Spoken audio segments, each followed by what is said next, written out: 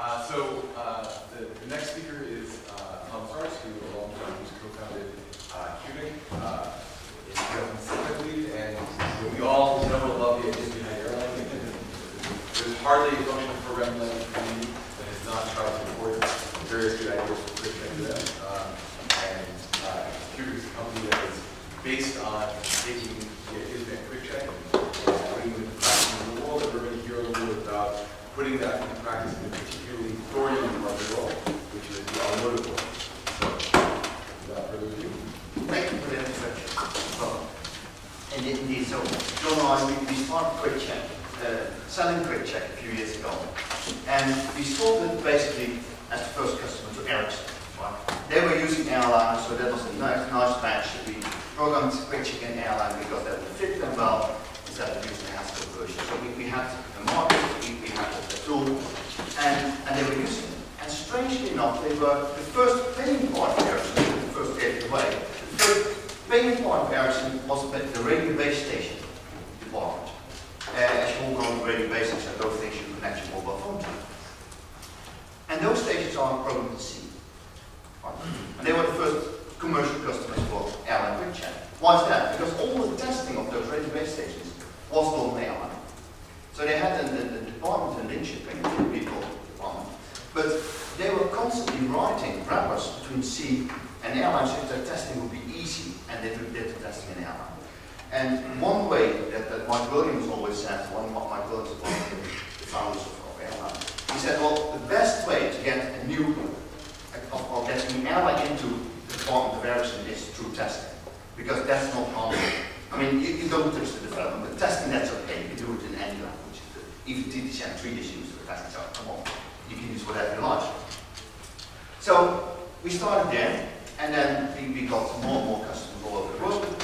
Somehow then we wanted even more customers, but hey, then we have to start departments like in Linköping to make the position and make a nice Erlang framework, etc. And then we had this, this fantastic guy working for a school Noel, which said, oh, but we can do that automatically. So you can read C code, parse it, get all the type information, write all the Martian code automatically, and then just talk to C from an Erlang shell as if it is So he, he did that as a, project, and we were very happy with it. And we said, well, let's try it on something, and, and that's where this starts. We, we tried a master thesis in automotive industry. Said, let's look whether we can test real C software. And since we are based in Gothenburg, and lots of car companies around, let's look at, at car software. That, that's as much C code as you can get. It's not C++, it's real C, so that, that's still rather easy. Let's do that. So we put a master thesis on that one, and then after a few, few weeks, we got some real attention there. Not only from the company that makes the software for the car, but also the car company itself was really interested. And it's because they had a problem. And it's always nice to have a problem because that means you have a business case, right? So, this is a car. Uh, for those of you who who would recognize the model, it has nothing to do with the car company we work for. Car are computers. They are called ECUs in car terminology. And there are about, in a, in a kind of fancy car, have 63 computers or 65 or something like that, spread around over the car. All those small computers, they, they steer the brakes, or your steering wheel, or uh, your air conditioning, or your windows, or whatever. They're all, all kinds of computers. And all those computers talk to each other. It might be useful for the brakes to know how fast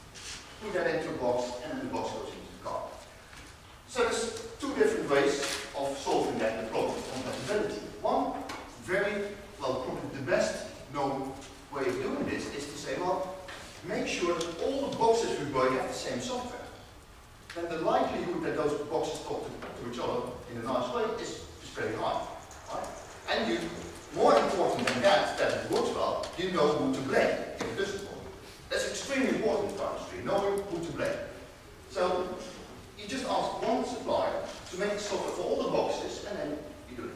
There's a slight problem there in that business model, is that the guys making the boxes says, yeah, but if you put our software in, it's much cheaper.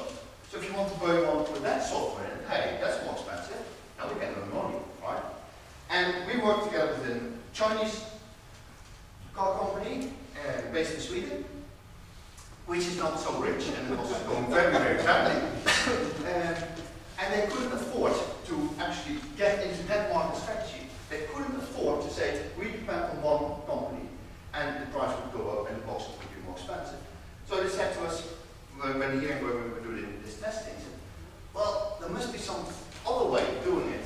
Can't you just, can you not ensure that the software is compatible? Right? How do you normally ensure that software is compatible? Well, you define a standard. And that's, of course, what the car companies did. So in order to get compatibility, you have to step a type. When you put it printer, right, you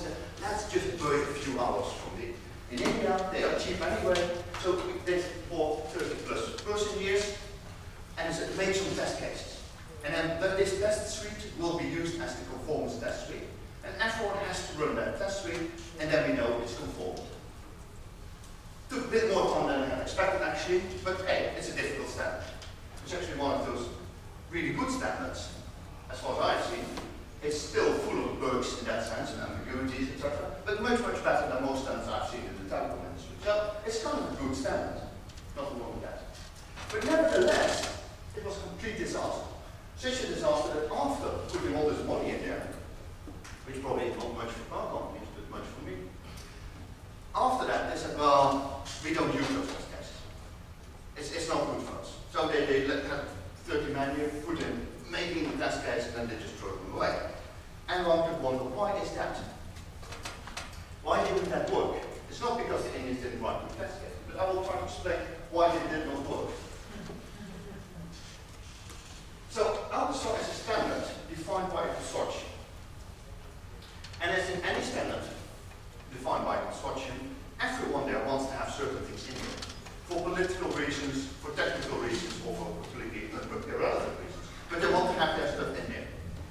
So the result of this pattern is that it's completely configurable.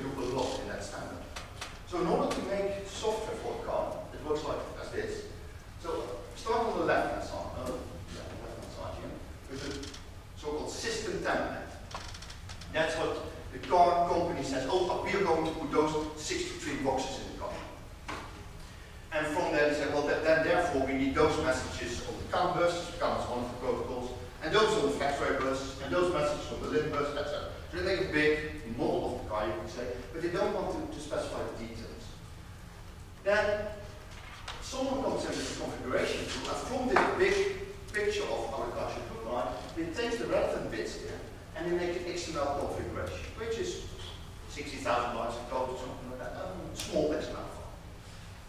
Because XML is always more bulky than it should be. And then you do from there, you do your code generation, and this is what the vendors do then, and they create a library, a C library, a lib file, and some header files, and they ship that to, to the ECU builder, and they put it in, in, in box. So important to notice that you have to do this configuration tool thing always, because the standard says you may add some vendor-specific things in the XML code. And in order to get the code generation work, you better do put some vendor-specific things in the XML code. So whenever you want to do this, you have to have a configuration tool as well. That's good for the, for the vendors because they, they can sell a combination of code generation tool and configuration tool together, making one game. But that's awesome. So what is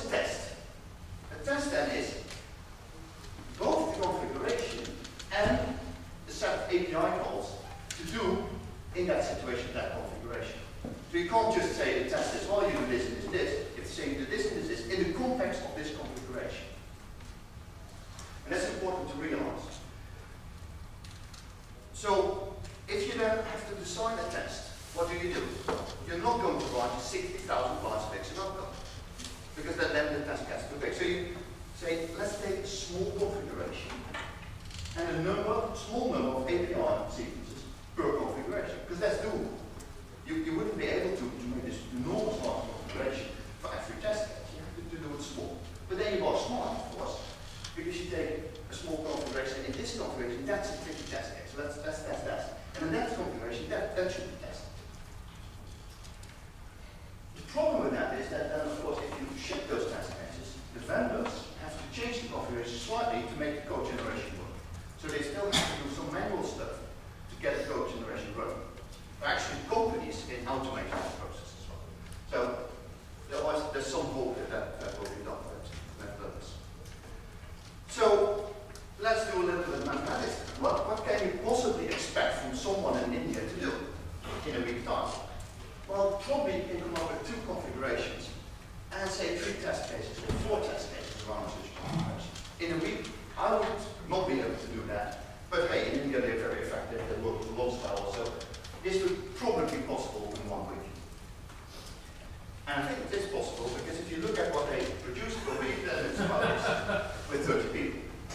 That's about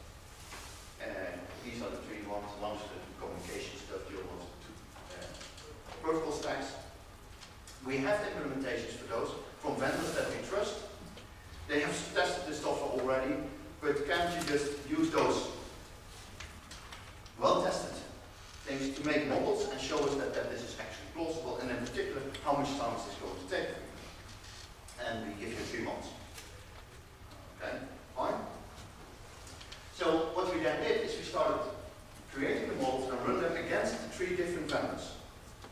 And one thing that, that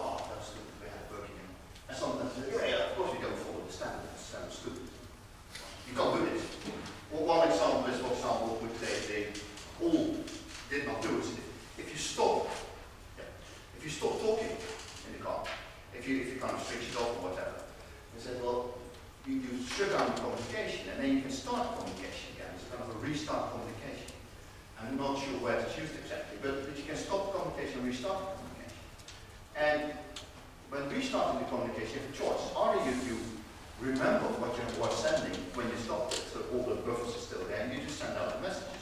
Or you clear all the messages and say, okay, we, we just forget what we were sending. And in the standard says, oh no, no, you can stop and restart the communication, and you should send out all the things you had been sending out before. But no one's doing that because it's very annoying if you stop the car, you start again, and the car thinks you're still running on the autobahn from 20 kilometers an hour, right? That's not what you want, so you don't follow the standard.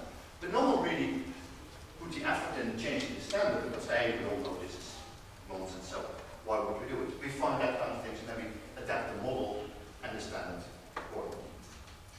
Okay, we wrote 500 pages of, well, every, such document is about 500 pages of specification. Typical PDF files you can download from the internet interested to look how they look like. And such 500 page document results in about 1500 to 2000 lines of Erlang code in the, in model. If you compare that to the C testing code, where you have written your, C, your tests in C, that would be about 50,000 lines. So we, we gain a factor of 10 in writing a model instead of testing. But I know this because the tests were supplied by the vendors as well, so we know what tests they had about 50,000 pounds. It took us, for one such component, about 12 weeks to, to make one component. We did three components in parallel, about 12 weeks to, to make such a component, which is fast. And then we found all kinds of errors in the code because of our way of testing. So even though this was very well tested software, we found things because we mixed all the features together in this big computer.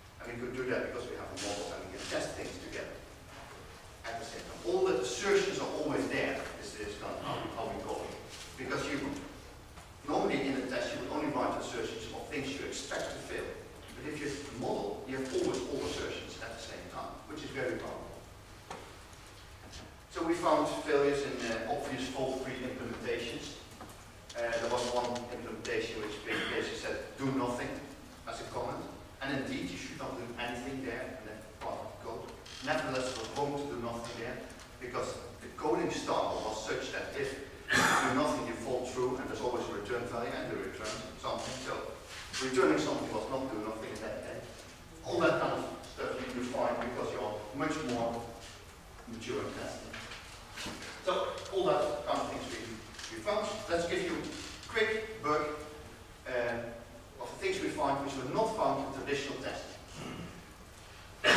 a communication protocol, uh, think of it as IP, communication in language space, 11 bits, or an extended count in 29 bits. So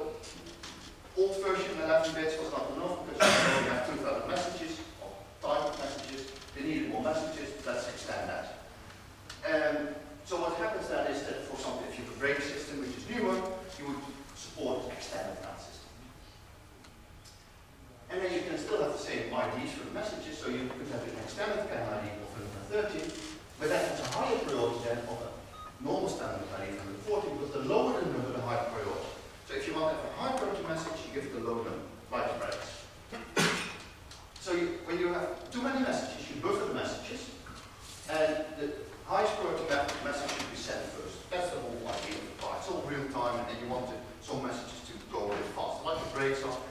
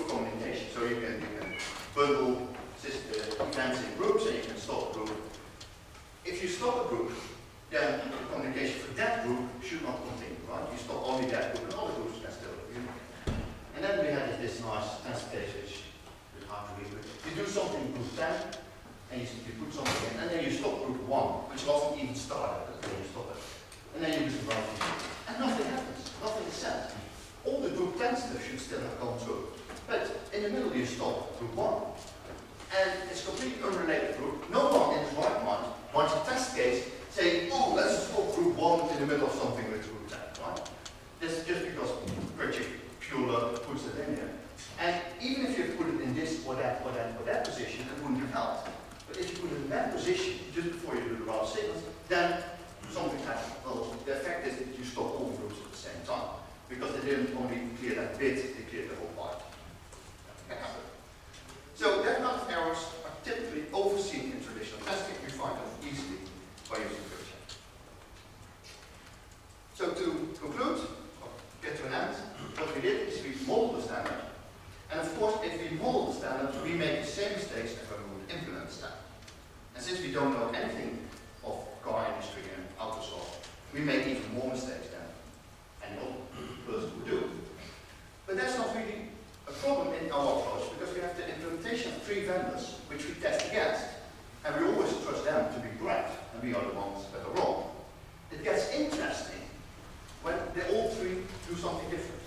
what they of them does something different than the other.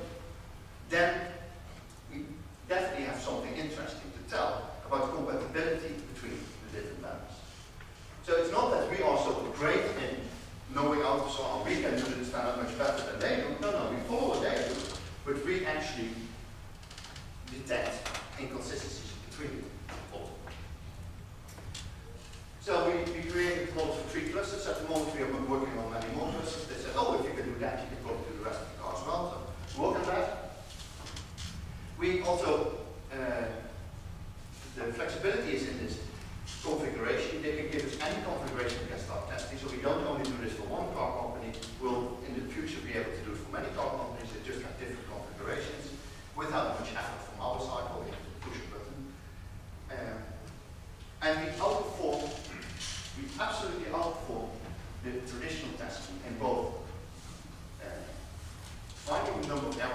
effectiveness, total efficiency because of computational work.